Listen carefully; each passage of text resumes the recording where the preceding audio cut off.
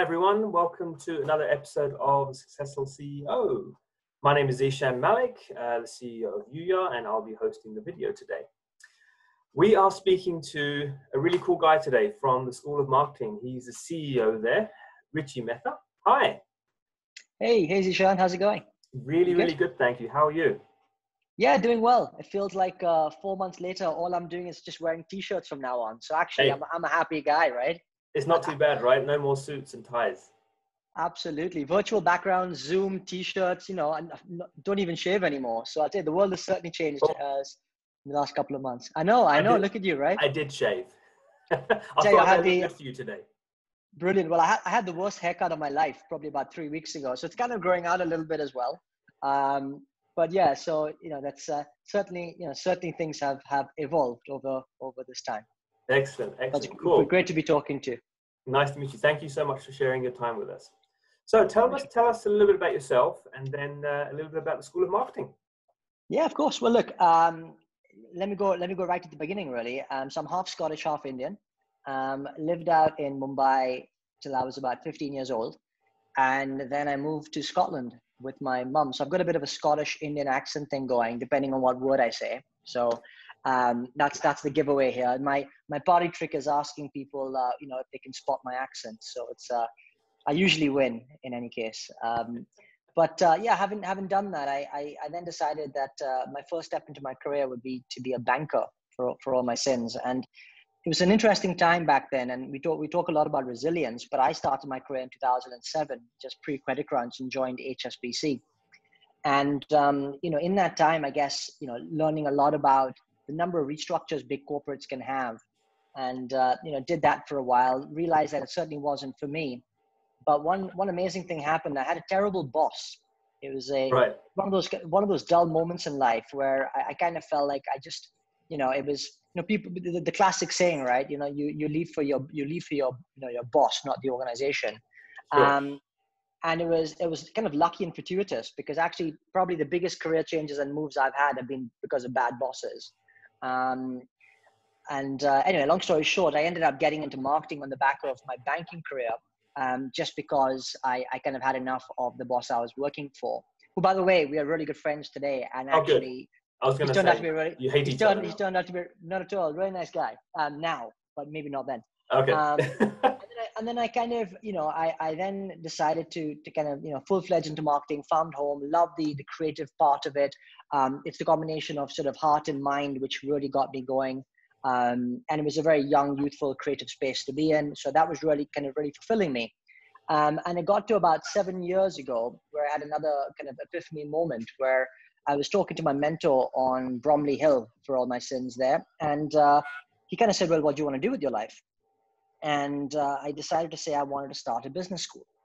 So, in, in that vein of thought, and with his consent, I kind of left the journey, left corporate land, and then started out on my own.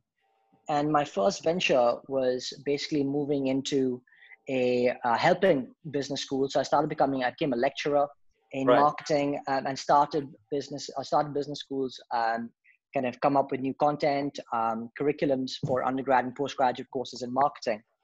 After about 30 of those or 40 of those courses designed, um, we scaled up into a fully fledged digital, digital production or digital learning production agency, um, which I currently still also run today called Learn et al um, okay. where we basically are a technology house where we actually produce digital online learning on behalf of some of the biggest universities, corporates, governments of the world.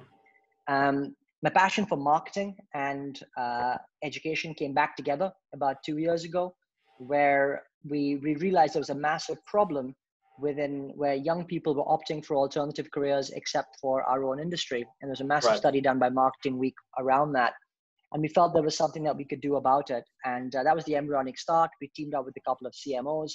Um, and then we realized very quickly that it was not only a youth problem, but actually there was a massive problem with upskilling within the industry. As as Zeeshan, you know only too well, marketing changes almost on a daily basis. Absolutely, um, yeah. And on and on that basis, we we realized there was no marketing education player that could truly deliver um, to that need of the of the corporate or the entrepreneurial marketer. And so the School of Marketing was very much born to fulfill that. And that's the journey we're sort of on today. We've got about 50 modules, about 10,000 subscribers. Um, and so, yeah, we feel like we're doing a pretty good job of being impactful for the industry as well. So that gives you a bit of insight into both. That's a that's a that's a fascinating background that you've got, going from like banking into marketing and the journey through. It's great. Thank you. Really appreciate you sharing that. Thank you so much. So, um, speaking of impact, as the last word that you said, the current pandemic or the epidemic, or however you look at it from a geography perspective, how has it affected your business? Well, Zeeshan, I think um, you know, like anybody's business at this time, you know, it's it's extraordinarily difficult. There's no doubt about it. Um, I think the one thing that we've we've tried to do really is, is be really proactive with with the types of things and using this as much as we can as an opportunity whilst others are silent to try and get out and be really helpful. So I wouldn't say, you know, we don't necessarily have a massive marketing budget, but what we do have is a shed load of effort and passion to substitute mm. for for any dollar signs that we need. So we've we've actually tried to turn this on its head um, and kind of say, well, how can we be impactful in in this way, and how can we be helpful? So we were the first, well, one of the first organizations in the UK to actually come up with a COVID course to help right. others to to learn about how to you know to to manage that the situation, and um, we actually offered that initially absolutely free um, to, to everyone who wanted to go through it. So there's no Excellent. commerciality involved there. Um, we then decided to, to launch a working from home course called, uh, let me get this right. So it's wfhwth.com. Uh, and it was a, uh, there you go. Um, and it was, it was again, it was all about helping people through, with mental health issues at the time. Right. Um, and you could you can go onto that today, uh, wfhwth.com. Um, we roped in a range of celebrities ranging from Bollywood superstars to uh, comedians to corporate titans um, to help give advice and, and guidance. So we were trying to be really proactive, um, and and on that basis, I guess to some extent, you know, really leverage our brand and and mm. and generate some brand equity on the back of it, um, which I think has held us in really good stead. And that was probably for the first, I would say, first phase of of the crisis. Right. I think as we moved we moved into stage two, I think there it was a lot more apparent that after the initial shock, our, our clients started sort of, I guess, opening back up to the problems they're facing, and a little bit of right place, right time, and I show you no strategy involved. Um, we just we just ended up being in the sweet spot because we're a digital learning hub or platform. Uh, whether you look at it from my, my Learn et al business or School of Marketing, it's all digital content, it's all digital learning um, on all online learning, um, although right. we do do blended programs. Um, and that's really held us in great stead. So we, you know, our subscriber numbers have tripled in the last three months. Um, our client base has oh, have gone up tremendously. We've signed up partnerships. We're now in 15 countries. Um, I wouldn't say necessarily on the back of, of the pandemic, but certainly it's helped us accelerate.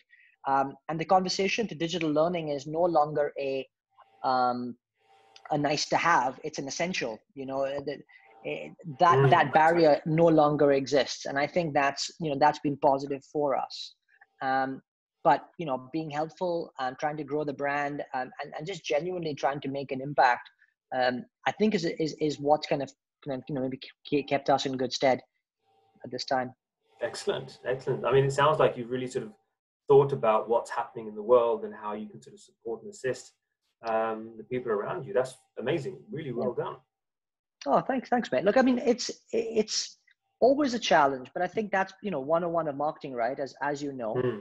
Um, is the need to understand your customer, understand their their, their problems, um, and then try and then try and come up with those innovative ways to solve them. Um, but I think the you know for me one of the things that I I'm, I'm most proud of, forget about all the other things that we've achieved, is we entered a load of competition. So the, the government um, kind of came up with competitions, the UN came up with competition, um, and we lost all of them and we didn't right. do a damn thing about it. And you know, we, we didn't win any and, and all the stuff. But I'm most proud of the fact that the team stepped up and we kind of went, you know what? There's a massive problem to solve there.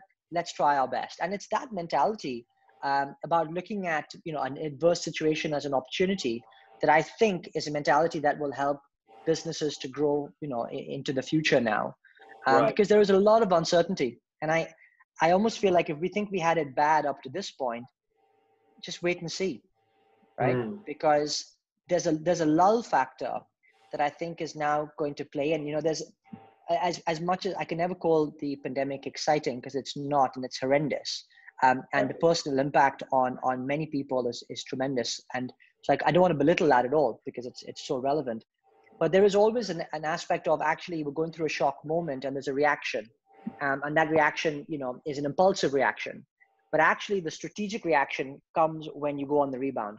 It's this curve, and this curve is going to be elongated for a while to come. And so I think there's where the opportunity lies for many businesses to be able to to reposition, um, to take advantage, or to be honest with you, if they don't reposition well, you're going to see the fallout happening now. So I think now is more the right. critical about how businesses react compared to even what's gone on before. Right. So I mean, thinking about the future within your industry now. I mean, you're talking about how things are flattening out, and you've got the curve where businesses are now thinking. And I mean, you know, in, even in my business, I've seen people are coming back to work. Conversations are starting up again, so it's good. If yep. you, if if I had, uh, sorry, rather, if you had uh, a magic ball that you could look into, where do you think your industry industry will be in like uh, 12 to 24 months time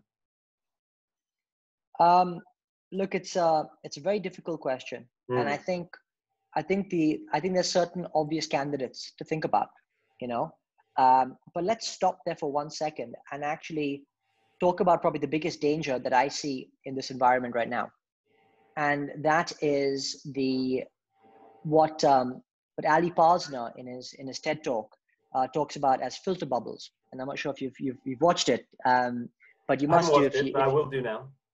It's, it's a, a fantastic talk. And, and the premise is very, very simple. And as a digital marketer, you'll get this in an instant.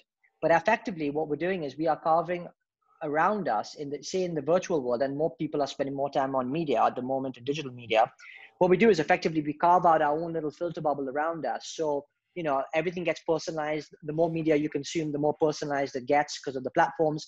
And so we start to read about all the things that we want to read about ourselves. Right. and then what we do is we post rationalize and say oh my god because of what i'm reading about this is the way the future is then going to go um, and it's marketing one the biggest mistake in marketing 101 is you don't actually look at the consumer but you go inwardly focused and i think the problem is we're in a double bubble situation because on the one hand we're consuming more digital media at the, mo- at the moment time creating a virtual bubble around us. And of course, we've got this physical bubble around us at the moment in our own little world that we are, are all currently under.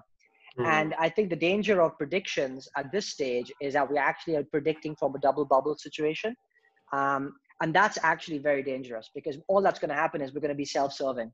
We're going to say that our industry is going to be the one that's thriving, or if we pivot in this way, that's going to happen.